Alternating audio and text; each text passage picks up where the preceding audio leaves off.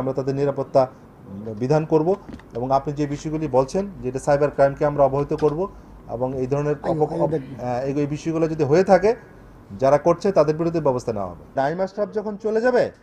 তারপরেই আমরা ক্লিয়ার হয়ে যাব ক্লিয়ার হয়ে গেছি অলরেডি আমাদের আর কোনো মানে আনক্লিয়ার কিছু নাই